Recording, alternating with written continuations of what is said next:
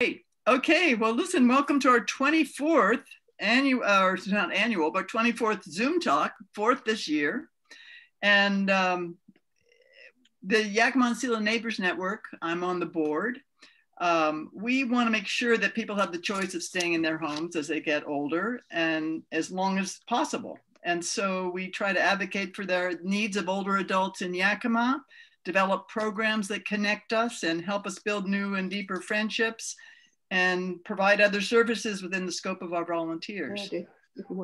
And we want to really thank our sponsors. The importance of our sponsors to us is that they show us that the community recognizes that we're doing important work. So we thank Triply Construction, and we also thank uh, the Yakima Valley Community Foundation, United Way of Central Washington, and the Latino Community Fund that gave us a $5,000 grant recently. So this afternoon, we are so pleased to have Heidi Shaw, psychology instructor at YVC, talk about chimpanzees and sign language, making science accessible to all students.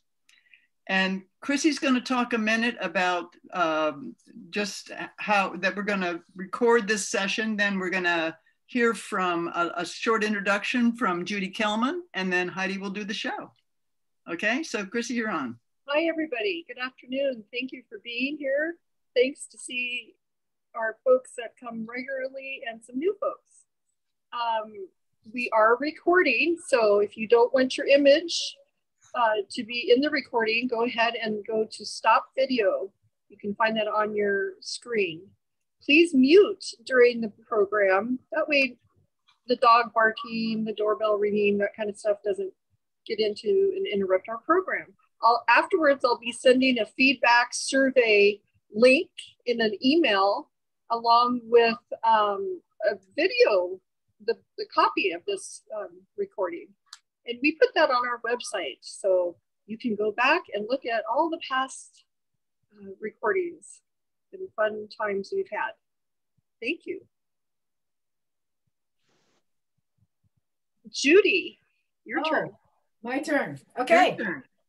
Uh, I've taught at YVC for years, and so I first met Heidi when we attracted her from her growing up spot in Massachusetts out to Eastern Washington because of our, our population of chimpanzees you probably all remember Washoe, who lived up at Central Washington University. So that's how we got Heidi out here from Massachusetts. And she ended up teaching at YVC. So that's how we first got acquainted. She, she started teaching about 25 years ago. And at the time, we were doing these linked classes at YVC. They were called learning communities. And so teachers from di different disciplines would talk with each other and find out what kind of common themes that their courses had. And then they would link the classes together. So you'd have students taking you know, chemistry and English together, or they'd be taking, in our case, biology and psychology together. So it was really fun because the teachers got to learn a lot from each other. And also the students got to have all of the teachers in the class all the time. So I met Heidi when we were sitting one day trying to decide what kind of a common theme we could have for a biology class and a, and a psychology class. And we both decided that what we valued for our students was that they learn how to think critically rather than magical thinking and that they understand the difference between science and then uh, phony science or pseudoscience and also to understand scientific theories rather than conspiracy theories. So that was the theme for our class and we called it Why People Believe Weird Things. And so we had an English teacher decided he liked our theme, so he joined us. So Gordon Kessler taught uh, English composition along with the psych and the biology. So we had a big group of students and we met every morning, all morning for five days a week for the for the quarter. So it was really a great experience for all of us. And so by being together all that time, we we shared a lot of our teaching strategies in that course. Um, what Heidi always did when we were teaching together is she always had her students doing research of their own and then they would put together a poster and their, their research team would present it at the end of the quarter to the class. So she was always from the very beginning interested in having um, you know, freshmen and sophomores at the community college actually doing research, not just reading about other people's research. So she started a chimp research group at YVC and she invited all of her psych students from, from all different quarters to, to join the psych research team. And I joined the team because I've always been interested in animal behavior. So I wanted to learn about the signing chimps too. So I, I joined up um, in this research group. And what she did was the students would do research and they would write it up as though they were going to publish it in a journal and they would make a poster and then she would she would uh, register them for uh, regional psych conferences in, on the west coast. And so um, they would she would take the students to the conferences and the students would present their posters and people would walk around and ask them questions and they would tell them about their research. So it was really great for college freshmen and sophomores to get that experience. Since I was on the research team too, I got to go along as their chaperone. So it was really fun for me to go to these psych conferences and hear the talks and look at, watch the students um, talking about their research to the other people. And so it was really a great experience. So with no more talk from me, I'll go ahead and introduce my friend Heidi Shaw. Thank you. And so I'm gonna get my little, uh, let's see, I gotta share my screen and share the sound. Okay. So can everybody see that okay? So we're good. So thank you, Mary Lou, for inviting me. And I could never say no to one of my favorite former bosses. And thank you to Judy for the nice introduction and for covering about half of my presentation. um, and actually, what Judy didn't tell you was that um, when I got hired on in 1995, she was assigned to be my mentor. They actually had a mentor program back then. And she started then trying to get me to swap up how I taught uh, from lecturing to doing worksheets and a lot more interactive kinds of things. And it was that learning community where she finally broke me out of my bad habits and really um, opened the door for me to really improve my instruction uh, quite dramatically. So thank you. So I learned about the what used to be called ape language um, studies when I was about five or six. And um, during Saturday morning cartoons, there used to be a show called In the News. And they were one to two minute um, little news stories that were targeted there were current events that were sort of targeted for things that kids might be interested in. And one of the ones was on Lana, the chimpanzee, and a researcher by the name of Duane Rumbaugh had worked with her and taught her how to use computers, a computer board with a touch screen with these little buttons all over it. And the buttons represented um, words. And so she could string words together and so forth. And I was just enamored by it. And that notion kind of stuck with me. And so then time passes, the idea is still kind of floating in the back of my head. And in the meantime, I kind of thought I might want to be a zookeeper and anything but teaching, because that's what my parents did. Um, and in high school, I decided that I wanted to talk with chimps. And so um, I would always escape the, the lunchroom and all the Rubik's Cube social things going on in the lunchroom. And I would escape to the library and I started researching this, and I actually tracked down the scientific research about Lana, the chimpanzee, and I found other ape language pro projects that used other equally sort of clumsy kinds of language like, but not really language. Um, and then I came across Project Washoe.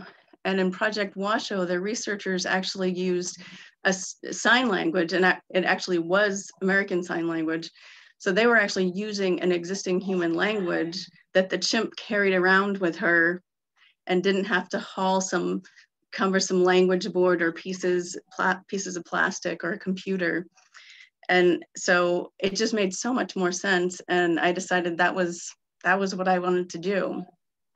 And um, so what I'd like to do is show you, if I can get this, there we go.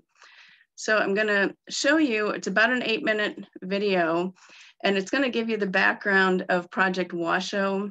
And in the video, you will see Alex, or Alex, Allen and Trixie Gardner, and they're the researchers who started this, and they're my major professors.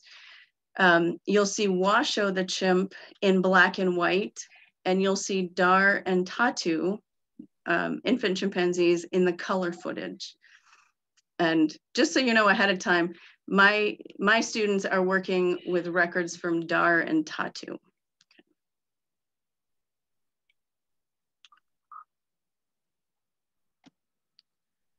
Just gonna take a second to get this going.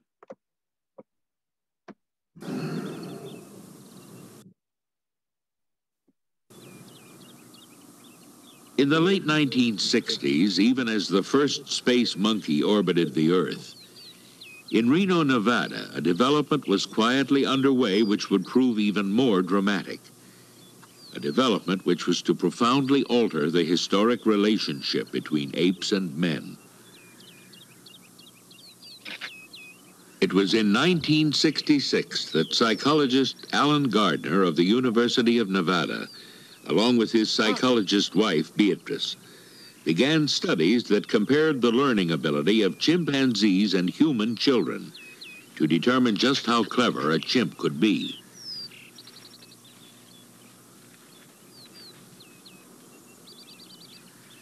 It was well known from studies in the wild that chimps are intelligent, inventive, perpetually curious creatures. Just going to pause there for a second. Can you hear me? Okay. Um, we were talking a little bit earlier about orangutans laughing, and I just wanted to uh, let people know that the little sounds that you're hearing that sound kind of like breathy pants, kind of, that's baby chimps laughing. Experts at expressing emotion. But the limits of their abilities had hardly begun to be explored.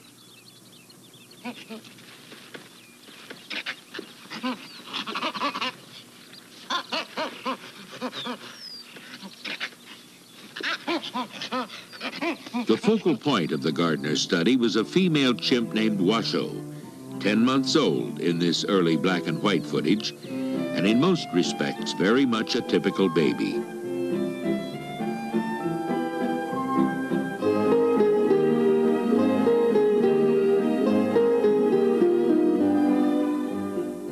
Was not the Gardner's intention to raise Washoe as a pet. Instead, they wanted to know whether she could be taught to talk.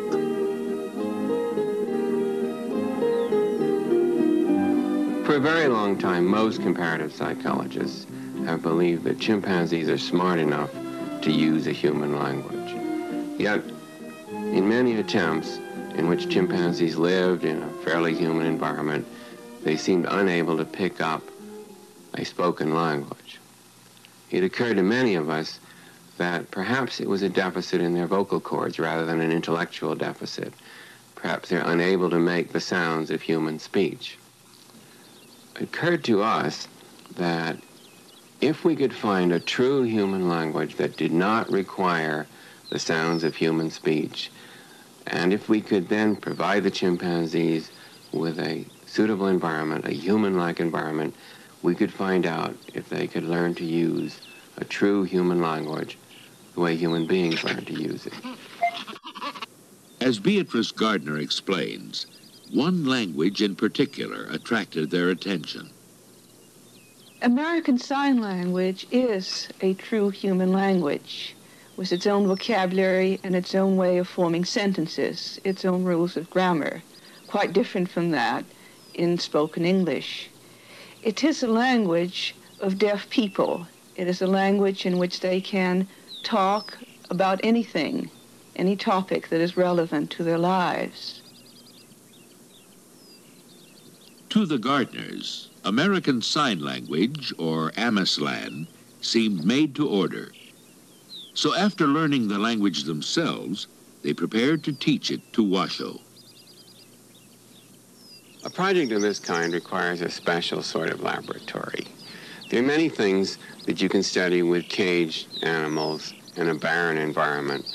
But if you want to study the development of human language, and if you want to compare the development of the chimpanzees with the development of human children, then you need an interesting and attractive environment, one with many sources of stimulation and one that will stay stimulating for many years. As these scenes filmed by the Gardners show, Washoe's early life was filled with companionship. And it was these companions who taught her her first Ameslan sign, the two-handed gesture for more.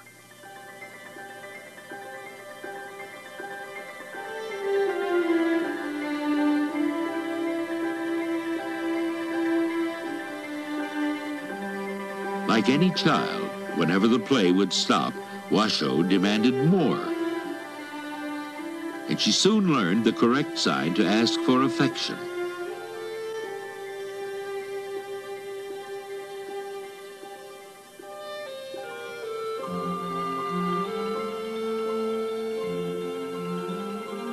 Opening things required another sign, whether to open a case full of toys or a portable phonograph.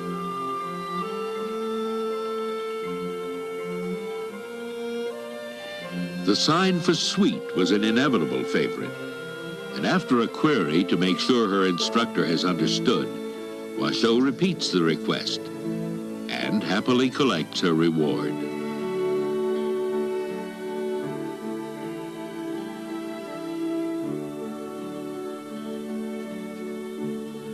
Now Washoe asks for a drink, and Beatrice Gardner complies. More drink? Dr. Gardner asks. Drink, Washoe replies. And the request is granted. Then Washoe correctly identifies her image in the mirror. Me, Washoe Big Ears, she signs. Here Dr. Gardner signs, Washoe, come hug. And Washoe understands. So now when her friend Susan feigns distress, Washoe hurries to the rescue, signing, Hug, hug, hug. At three years of age, Washoe was already adept at naming things, like the dog in the picture book. Or another kind of dog.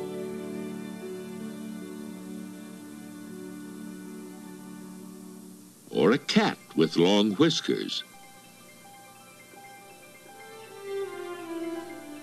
Another page, that's another dog.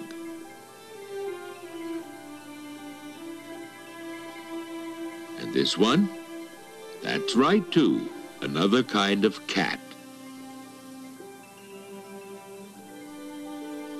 Four years after she came to live with the Gardners, Washoe had learned over 130 signs, using these in daily conversation with her companions. An achievement to shake man's cherished notion of his privileged place as the sole creature endowed with the gift of language.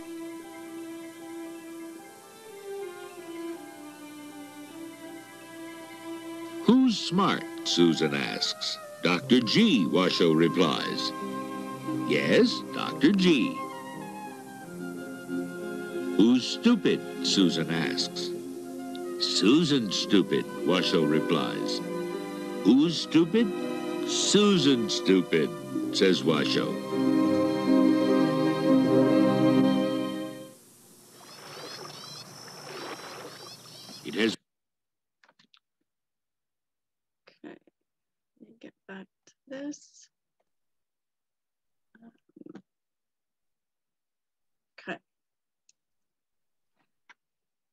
Okay, so um, Project Washoe ended in 1970. And at that point, Washoe went with Roger Fouts, who was one of the caregivers, um, to Oklahoma. And Project Washoe ended at that point.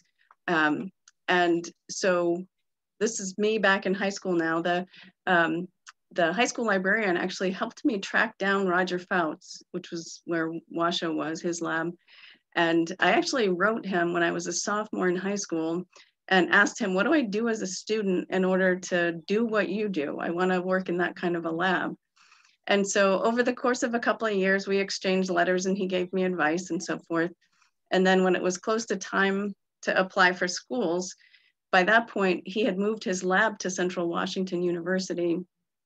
And so in one of his last letters, he said that he thought that it was very important in his lab that students start getting involved in research uh, with the chimps when they were a freshman, because that gave them four years to stay involved in the research and serve as, as longer term friends and companions as well as research assistants and that those long-term relationships were healthier for the chimps. And so that was really all i needed to hear.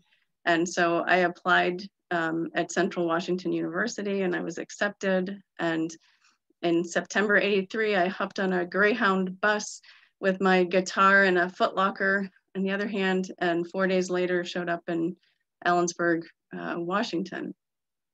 And um, so I actually was an undergraduate there for all four years, and then I did my master's there as well. So I was there nonstop for six years, and then I continued after that. But in those undergraduate years, um, it was the experience was had a profound impact on me as a person and on um, me as a student and on me as a as a scientist. And let me get my little pointer here. Um, so at the, I think something something is hidden back here. Let me move this for a second. Yeah.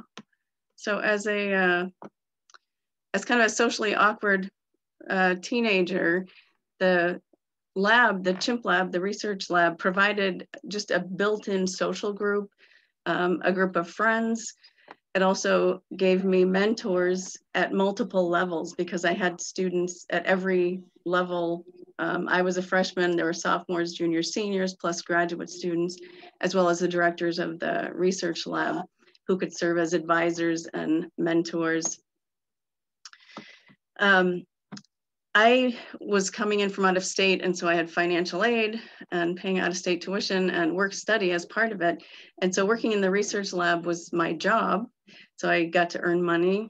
Um, I developed expertise relatively quickly, and um, I was pretty good at what I did. And so I sort of raised up in the human, uh, the hierarchy of human primates, whoops, um, and developed expertise. And with expertise, I also developed a lot of um, confidence and some other things. And I'm going to look down so that I don't miss some of the things. Um, I also worked as a member of a team, which for me as kind of a loner was a really good experience. Learning to trust other people and do things um, with other folks was good. I gained um, supervisory experience. I ended up also training and teaching the newer people coming in. I learned how to schedule which I've, I've learned since is a really good skill to have. Um, I gave public talks. I, I was um, here at a time when we were switching from mainframes to desktop computers. And so I, I learned both of these, those sort of platforms for data entry and data analysis. Um, I learned how to use sophisticated video recording equipment um, and also editing equipment. I gained um, experience cooking for a crowd or at least, at least large eaters. Um, we had to experience foraging through the, the grocery store garbage piles in order to, to find salvageable food for the chimps when the budget was, was pretty reduced. And then I get to do pretty amazing things, which um, included peer reviewing scientific articles and also contributing to the new federal regulations that at the time that were coming out that um, related to captive primates of all types. Um, and in addition to skills like that, I also learned some kind of important lessons about science and maybe even life in general. Um, I learned that science is messy and anything that I had learned about science in my junior high and high school was nothing like what I was learning in the research lab. That, that it takes so much persistence that you make so many errors and um, you do so many so many failed things before you finally get it all all together. So what makes it into the published record is is incomplete. And i learned that um, making breakthroughs um, is a result of persistence so it's important to persist in order to to make breakthroughs but i also learned sometimes breakthroughs come from letting go of where you are and what your what your ideas are and to be open to, to new kinds of things. Um, I learned that it's worth time. It's worth the time that it takes to do high quality work. Um, a really important one for me was that critique and harsh questions and challenging questions and suggestions for change um, in science and academics is about the ideas and the work. It's not about me. And um, I learned that quality science can only happen uh, as a team, that you can't do science by yourself and have it be um, the high quality that you can when it's with a team. And some practical things I learned that um, sleep can always be made up later, and that uh, a big one that speaking in public does not result in death, which is important for me too. Um, so when I got hired um, at YVC, I was still working on my dissertation research, and um, and I had benefited so much from my undergraduate research experience that I wanted to bring that with me to YVC. And I can remember at my um, interview, I can remember asking, "So will I be able to continue research, you know, with students down here?" And Ellie Heffernan, who I know a lot of you know know her, um, she, when I asked, she said, "Well, you can do whatever you want on your own time, but we're a teaching institution."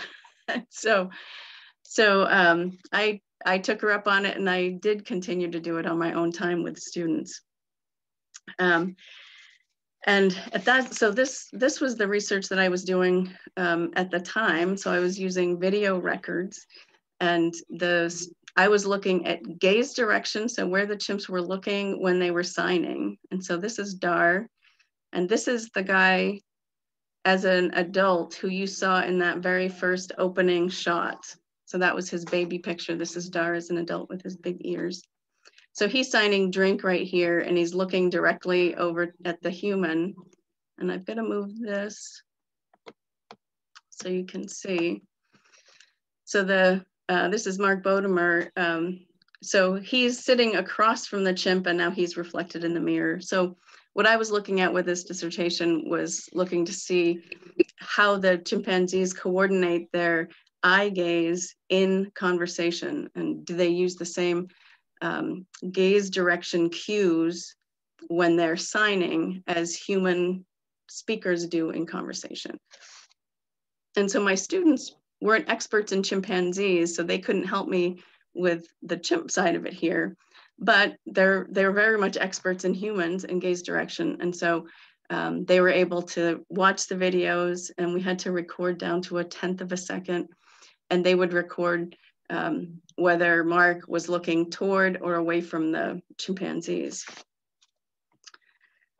And so that took me a few years to finish. So that's what they did for that. And then the when I finished the dissertation, the findings from the dissertation led me to do some work with human pointing. And so the new generation of students now is helping out and they help me actually design the experiment. Uh, actually, technically, it wasn't an experiment. Um, but they helped me develop the protocols. They helped me recruit subjects. They helped me obtain informed consent. They helped me with the data collection, which was pretty, pretty tricky to do. Um, and that actually took quite a while.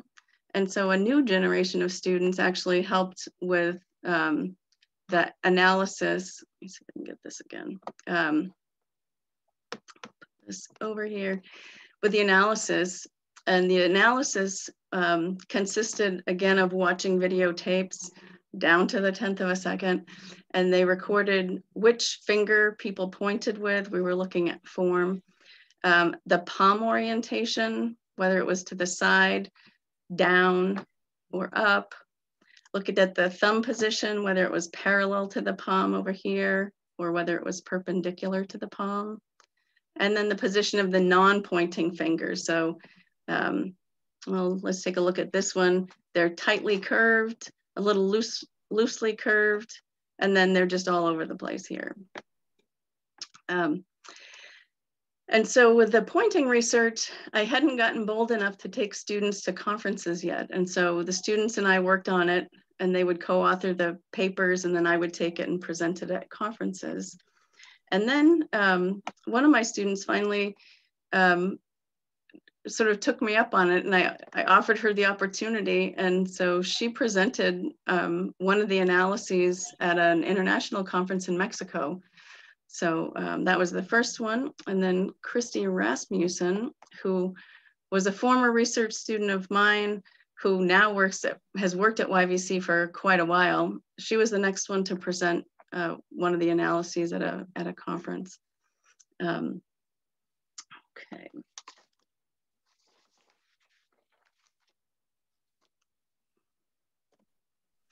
So throughout my time at YVC, um, I've always collaborated with Allen Gardner, who's right here.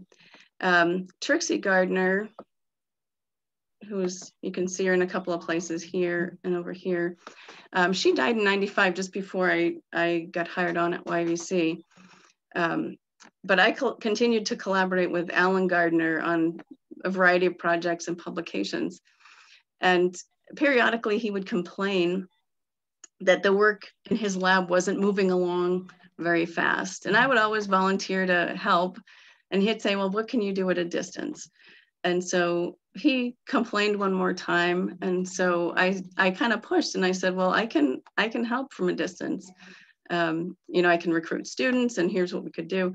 So he was skeptical, but he agreed. And so he had a second copy of all of his records from their second project and he was willing to give them to me. And so I drove down to Reno, picked up all the, it was like 30 plus boxes of, of research records and hauled them back to Ellensburg. And, um, and that's, that was about 15 years ago. And I've, I've been working with students on those records ever since. And at the time, the, um, well, actually, let me move that again. Um, let me back up for a second. Um, so the Gardners, and this is Trixie again, the Gardners research program has always, and I would argue even the, the program that I started with under Roger Fouts, have always included non-traditional students as research assistants. And with the Gardners, they needed people who were good with infant chimpanzees. And when you think of traditional scientists, you don't think of, of, you know, scientists on the ground, you know, moving around in the dirt, you know, finger painting with babies and chasing babies and playing with, you know, hammers and hoops, um, toys like this. So they needed people who loved working with kids and baby chimps. And so um, some of the most important people who uh, worked on this project were actually stay-at-home moms who had successfully raised children and were great with chimpanzee babies. He also had some, or they also had some high school students um, who were proficient signers, and they had members of the community whose only credential was that they were native signers. Um, and that's, of course, in addition to graduate students. Um, okay, so back to um, Yakima. So I continued that tradition with, um, with my students. And what I have found and will continue to argue is that anyone, whether student or community member, can contribute substantially and meaningfully in the work that, that I do um, with these records, as long as folks can read and write um, I'll say proficiently. Doesn't mean that they're perfect, but and also accept critique and and that's it. And I've never had to impose any prerequisites on this. And I've had students help who came to me with good grades, but I've also had some students who had very poor grades and were looking for a place to kind of fit in.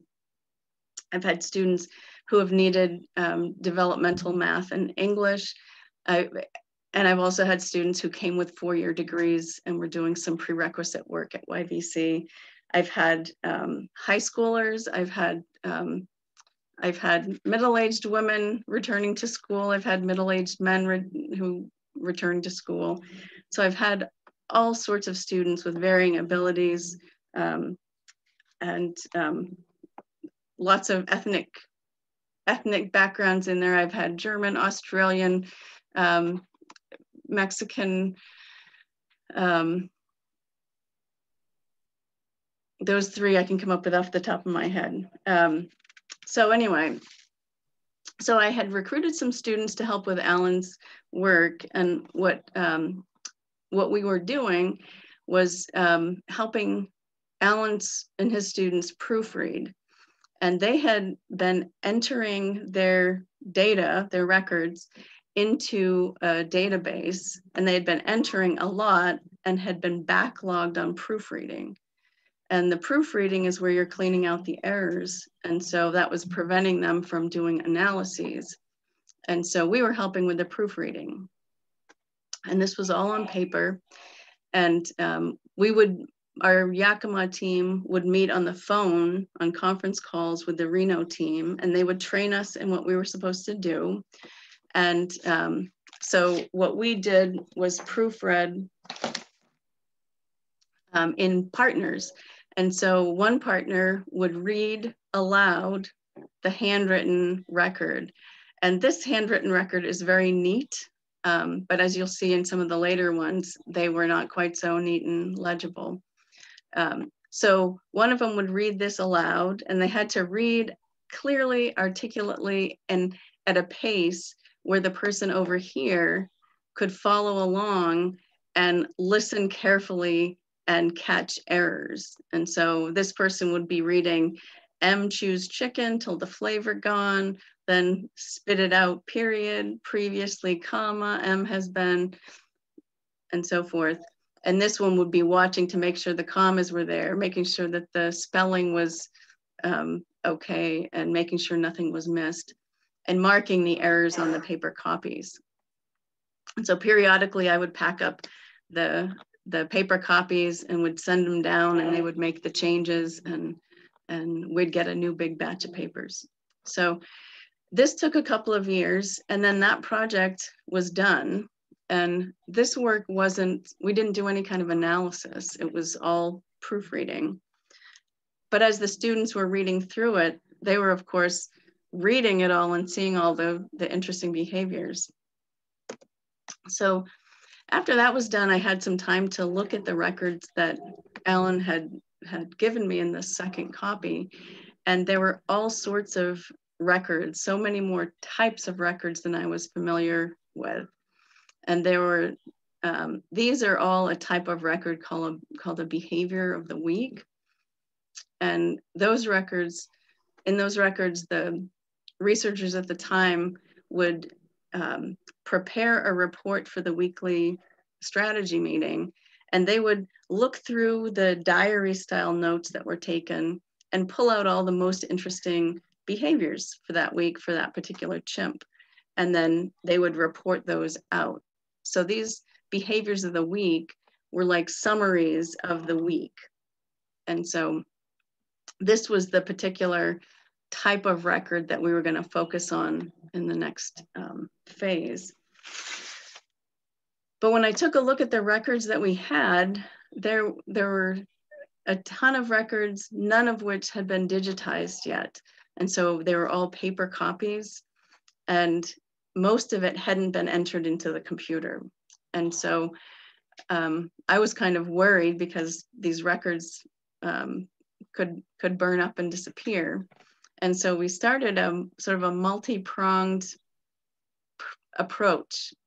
And um, so the first, the first sort of prong was that students who were just interested in, um, in helping, but not really interested in the, the research questions, um, would help scan. And so we were scanning lots of documents.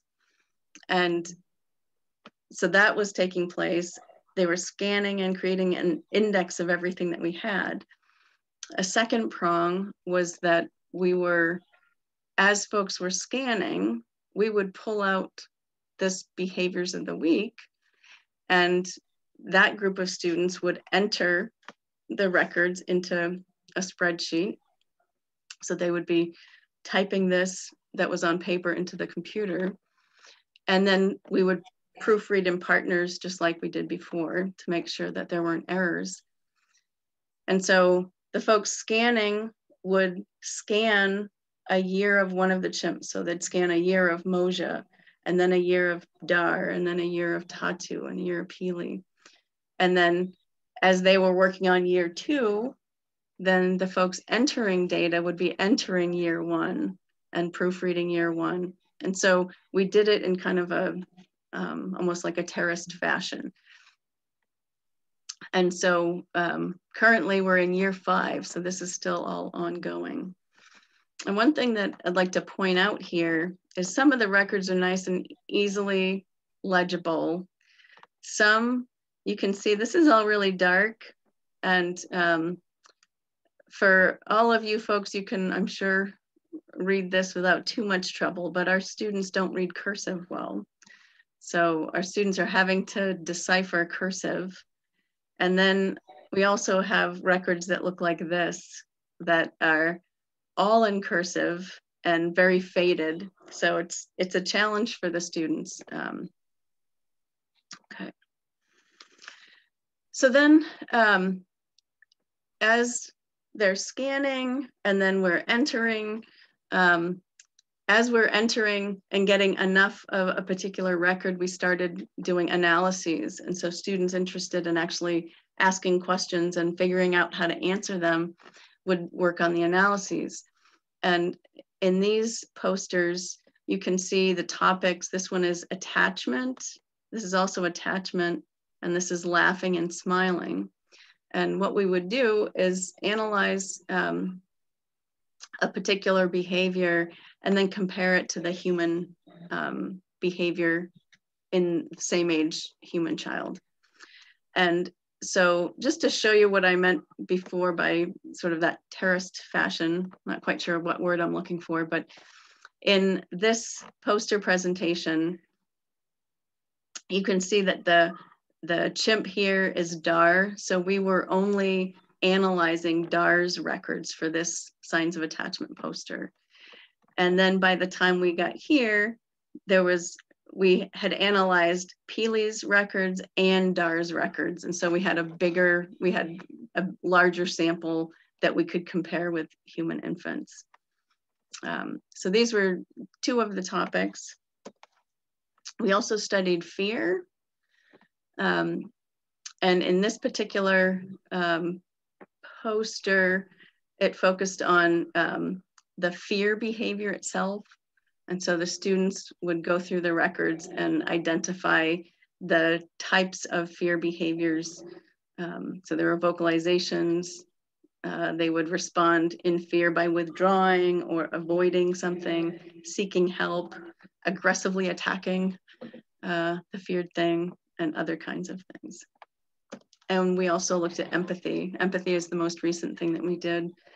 Um, and this one, you can see that this behind the box here gets up to 24 months. Let me move this around a little bit again. Um, so this, oops. So in this report, we had been able to cover tw uh, 24 months. And then in this one, we were able to add the third year um, to, the, to the finding. And what I did here was I just pulled out, I've been talking a lot about records and data and so forth. And I just want to give you a chance to kind of read some of these, um, these excerpts from the data records that the students are reading. And this post, this comes from a poster presentation about empathy. And this particular part of it was the chimps engaging in what's called pro-social behavior in response to another person's distress. And so these were examples that illustrated that particular type of empathetic behavior. And I wasn't thinking that this little box would be here. So I'll move it up here so you can see it.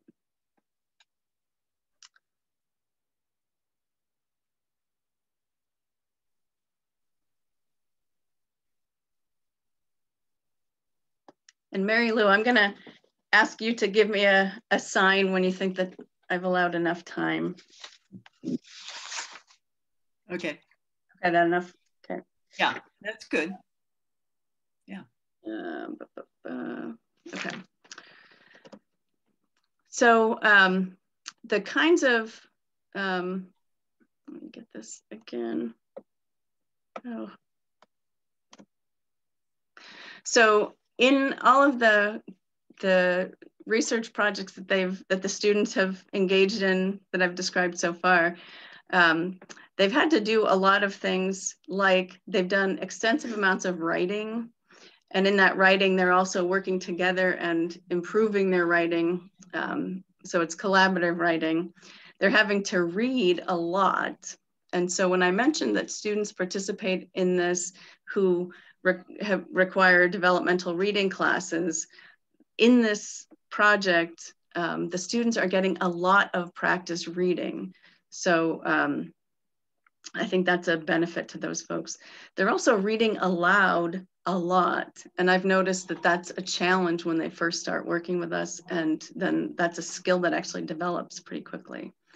They get comfortable correcting their own errors and other errors. Um, they actually learn cursive and they are so proud of it. And it's funny for me because my office, I have, if you remember, like second grade classrooms with the cursive alphabet posted around the classroom. That's what my office, I've got letters and, and the students, that's how they're learning cursive. But um, so they actually learn to decipher it. Um, they do a lot of public speaking in small contexts just with our little group, and then they they get to practice in other contexts. Um, sometimes they'll give presentations even to the board of trustees or the administrative council. Um, they identify patterns of behavior. And even when they're not doing it as part of an analysis, in our research meetings, people will start bringing up, oh my gosh, I've noticed this pattern a lot. Um, they contribute to what we call operational definitions in science. Um, so how we're gonna define empathy for the purposes of our, our um, study and they have to learn how to apply those different the definitions to the data records. They end up learning a lot of new vocabulary um, and some that's specific to uh, the cultural times. Oops, like um, they didn't know what Banaka blast was, and a lot of you might remember that. Um, they have to decipher poor handwriting. They have to copy things verbatim, which deals with being able to be precise. They're doing a lot of typing and they're learning a lot of vocabulary that's unique to chimpanzee and chimpanzee behavior. Um, and I've taken the students, as Judy pointed out, I've taken students to conferences. Um, and here you can see our little motley crew. And what was fun here was that this student right here is 17 and in high school with a baby. This student is a mom with a year old and then just a regular old generic college student. This is a graduate student from Central who I had collaborated with on a project for this conference as well. And so she joined our team. And so it was just a great experience. Judy is actually on the other end of the camera taking this picture. So she came with as a as a chaperone because these folks were out of control. Not, um, and you can see um, this 17 year old over here just behaving very professionally at the conference, getting involved in discussions, and this is a poster session. And so when you saw those posters earlier at conferences, for those who haven't been to conferences um, like this, you make those posters and then for an hour, you've put your poster up on your board and you stand with your poster and people walk by and will stop and ask you questions about your poster. And sometimes they just walk up and say, can you tell me about your research? And the students just have to tell about the research. Um, and so it's a great way for the students to practice repeating um, what they know and practice how to say things differently and so forth. And my favorite trip, and Judy was on this one, as you can see right here, um, was back at I think 2012 or 14, the Rocky Mountain Psychology uh, Psychological Association um, annual convention was in Reno. And Reno is where the Gardners started this whole project. And this is Allen Gardner. Let me move this again. Um, and so it just seemed wrong not to take students to this. And we were on a shoestring budget. Um, and Christy Rasmussen, who I mentioned earlier, who was just magic when it came to travel arrangements, um, also came as a chaperone on this trip. And so these three students were working with these data. And Christy drove them in a van down to Reno, and Judy and I flew down, and um, Allen Gardner hosted us, and we were able to, to stay at his house in the guest quarters. Um, and so, and I used my my food budget uh, to buy groceries, and we ate family style with Allen every evening. Um, and this was just a great opportunity uh, for the students to actually see where the chimps lived, all of the locations that they read about in the in their records, to see the toys that they had, to see the um, the house, you know, where the chimps would break in once in a while and where the chimps would have brunch and so forth. Um, and then this right here is uh, Allen Gardner show was showing us an unpublished film um, that he was in the process of publishing. And so we were upstairs in his little living room, sitting around an old VCR watching uh, an old film. And the students had all sorts of time to interact with Allen Gardner. And we had a research meeting together with the students who we've been um, in conference calls with. So it was just a, it was a really um, fun time for me to share to share my my background with the students. Um, and I put this poster here. Um, I know that you can't you can't see the details, but what's important uh, for me in this is that um, the students on here, there's four students, uh, four students, Mary Klein and Jadrian Gonzalez both worked with me at YVC. And then they transferred over to the University of Washington, but they continued to work with me and with the other students. Katie Bushelman was in the same research team as Mary Klein and Jadrian Gonzalez, and she left and uh, moved to Denver and went to the Community College of Denver. And we all continued to work on this with a new student, Sarah Brooks Canali, in Yakima. And we all contributed to this poster and the Western Psychological Association was held in Portland and all of us convened down there except Katie couldn't make it. But we all um, showed up there and presented our work. And it's this kind of collaborative work that I dream of continuing to do. Um, so um,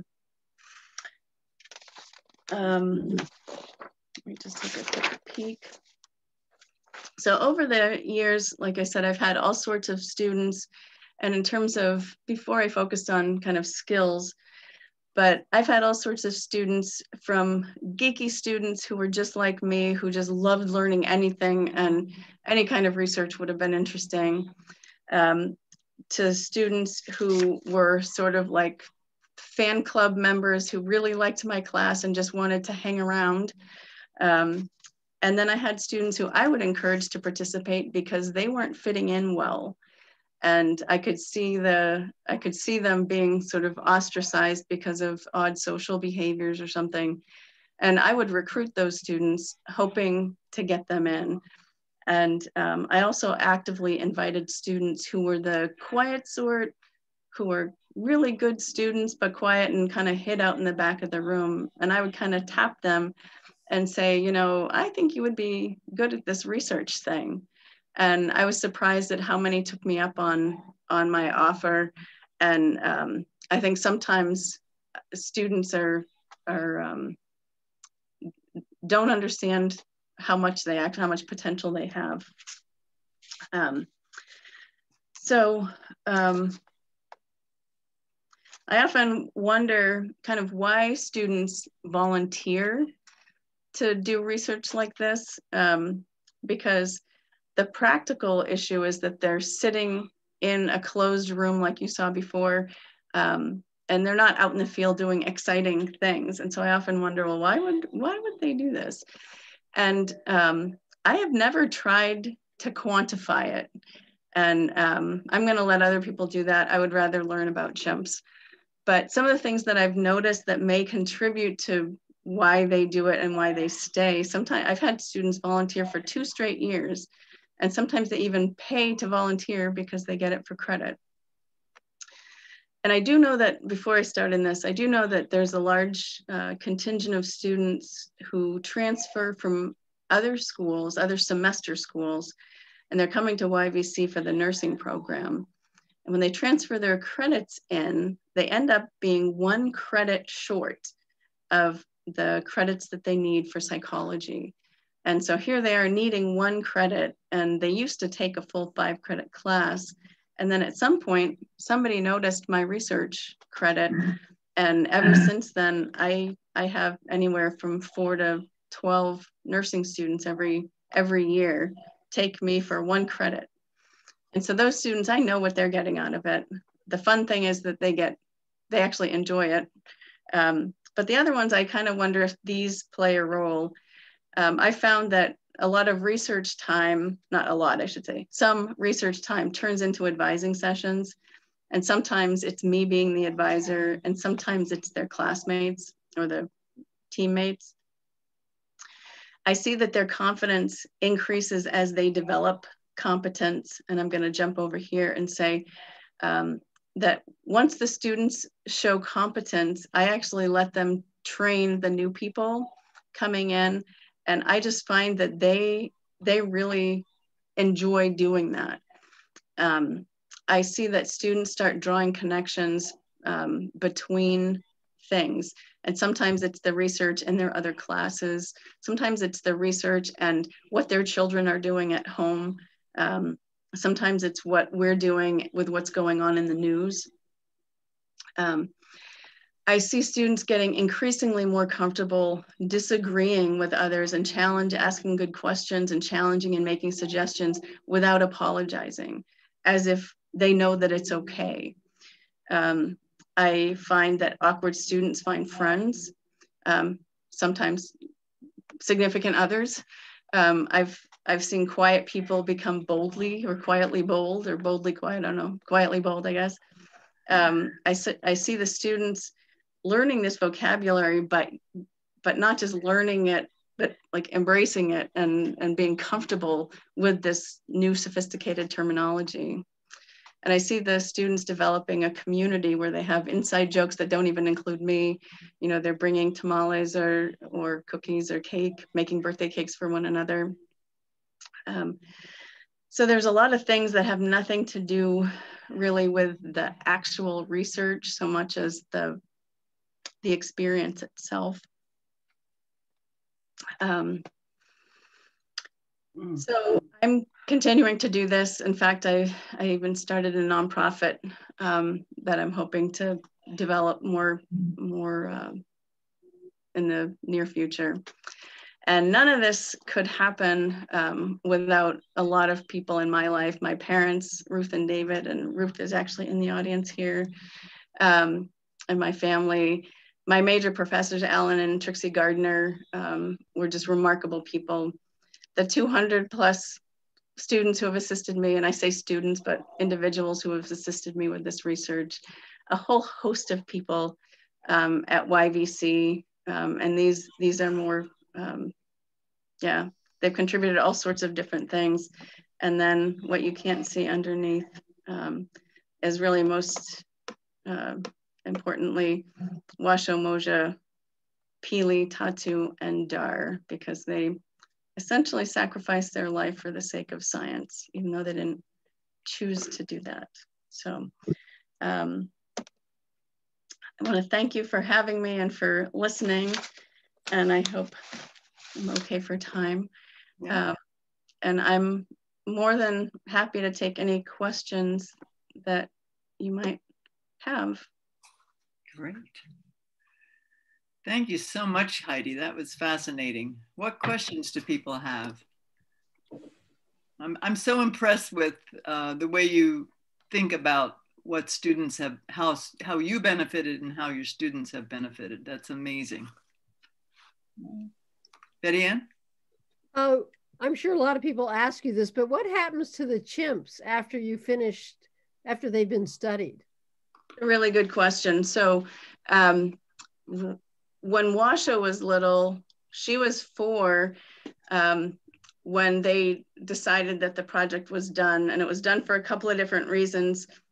One was because the grant ran, ran out. One was because one of her favorite people was graduating and moving on, Roger Fouts. And also, the Gardners got Washoe when she was about 10 months old, and that's an estimate.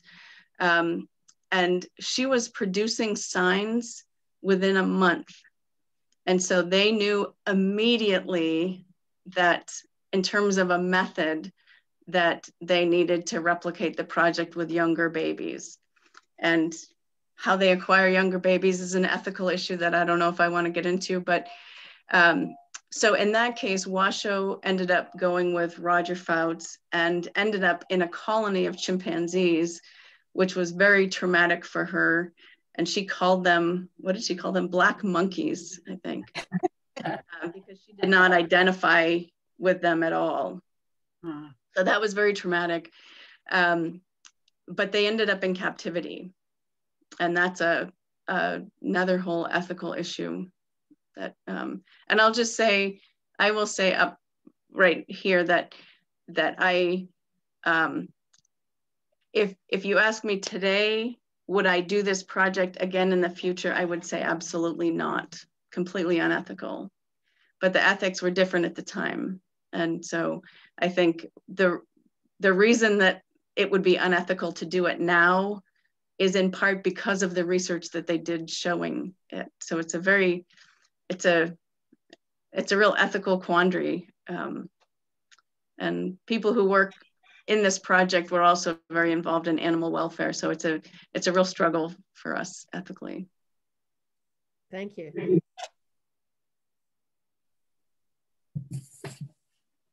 Linda, uh, you your your sound is off, Linda.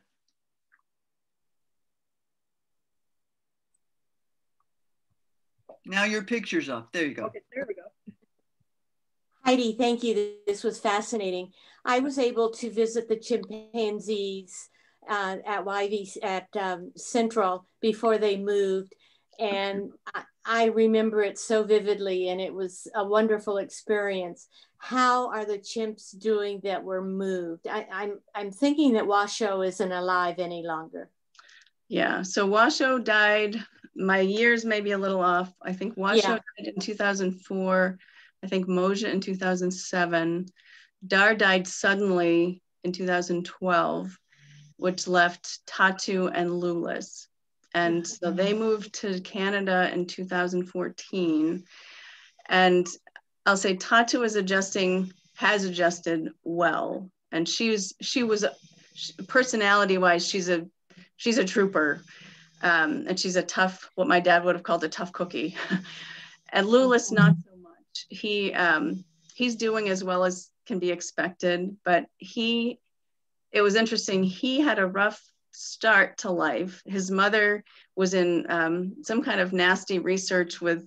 She had electrodes implanted in her head. She wasn't she wasn't um, caring for him, so he had kind of like an aunt-like figure in his life, and then he was adopted out and Washoe adopted him um, when he was about 10 months old, which is coincidental.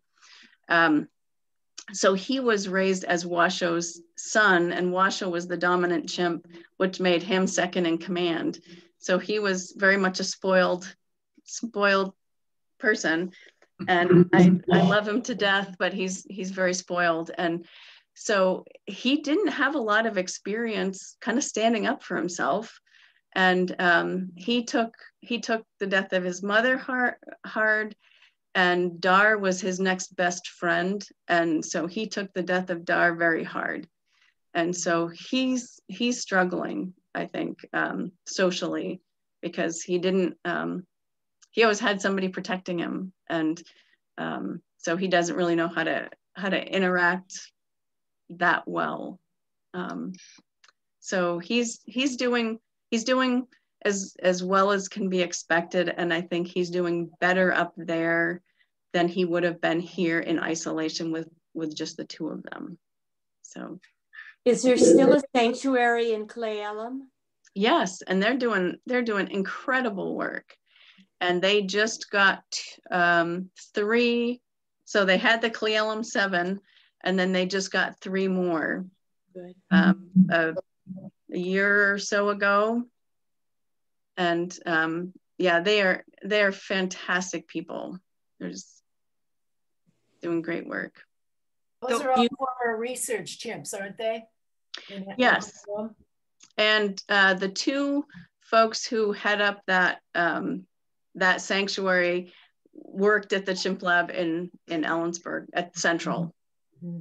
and they went off and got degrees else master or second masters I think elsewhere, one in law, and I'm not sure what the other one was in, and then came back and and set the sanctuary up.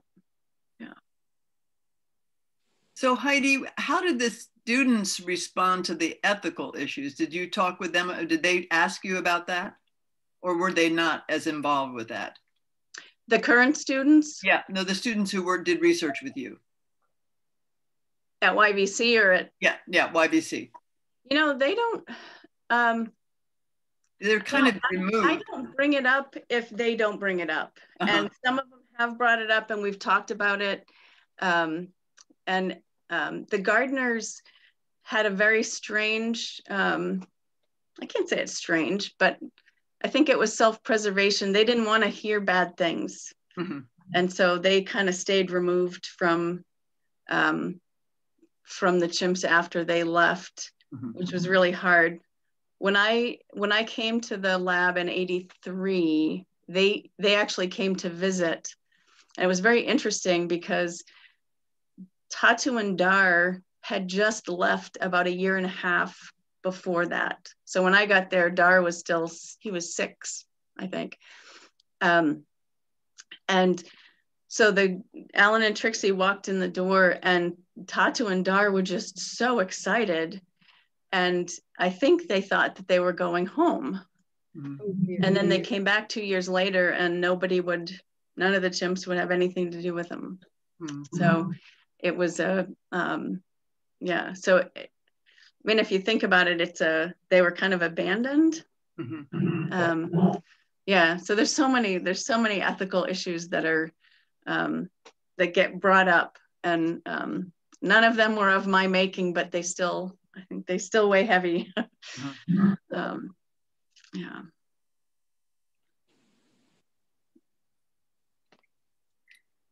Other questions?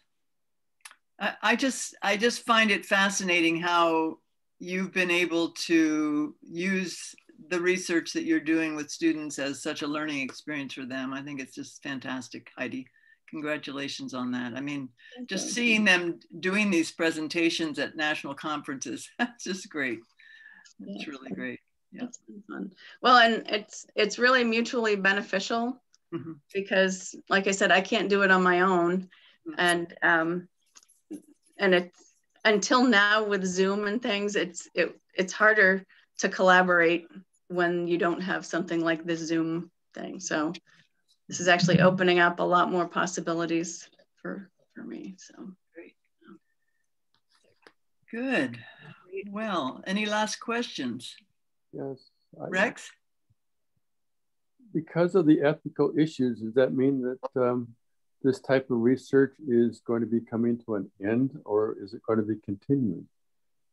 So this project will end when Tatu and Loulis pass.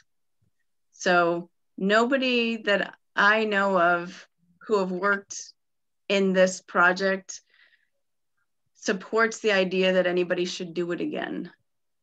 Because the the ethical issues from taking a baby from their mother to having to put an individual in a cage with no crime associated with it, um, knowing that they're going to live 50 years is just mm-hmm. unthinkable. Yeah. And so, not everybody thinks like that, but for the folks who worked with these chimpanzees, it's a worldview changing experience to sit down and have a conversation with another species that's meaningful and um, the idea that they have to be on the other side of bars just because they're strong and a little impulsive um, just doesn't sit well and so um, yeah so what what's the research that's going on um, if you can say briefly in, in ellensburg what are they looking at now so there, so the chimps, I, I didn't mention it formally. Somebody uh, commented on it, but uh, the, the two remaining it's political. We know that there are a number of investigations. Um, so they moved to Canada and they're in a sanctuary and they don't do any research up there. Okay. And um, the facility closed down. Actually, I shouldn't say they're not doing research. They're doing they're doing some some research with with records, but as far as I know, they're not doing any new research. Okay. Yeah. Heidi, do you think chimpanzees talk to each other? Is there a chatter that you don't understand? I would say yes, they talk to one another, and our chimps talk to one another with sign language, so we could actually see it. But they certainly have they certainly have um, a gestural form of communication. Um, yeah, they don't. They don't. I would argue that they don't communicate vocally. Let me rephrase that. They don't engage in anything like conversation vocally. Um, their vocalizations seem to be equivalent to our emotional vocalizations.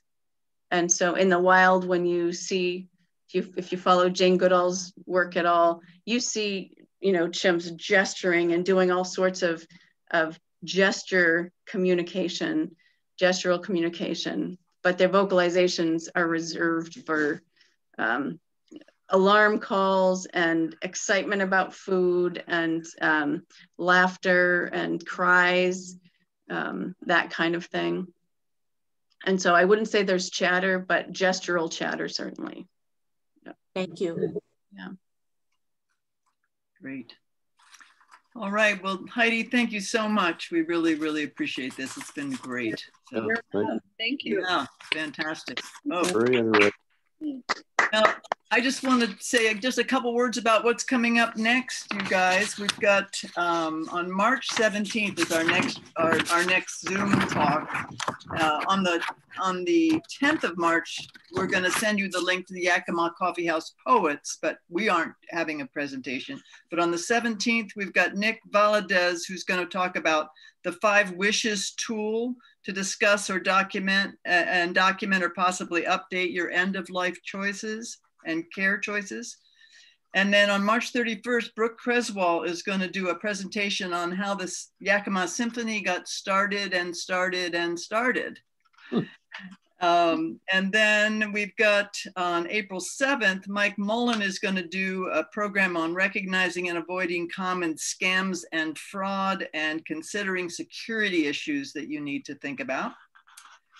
And watch your the airwaves for a group coming up next week tuesday um, called tech tips where we're going to just try to touch base with you on problem solving and finding resources for tech frustrations that we have so join us for that if you're interested so all that coming up and heidi again thanks so much and we're glad that ruth we're glad you were here too you should be proud of this lady. I know you are. Thanks Thank again, you. Heidi. Oh, hi, Erwinna. Good to see you. Okay. Thanks, Take care. Thanks. Good afternoon, everybody. Bye. Bye-bye. Bye.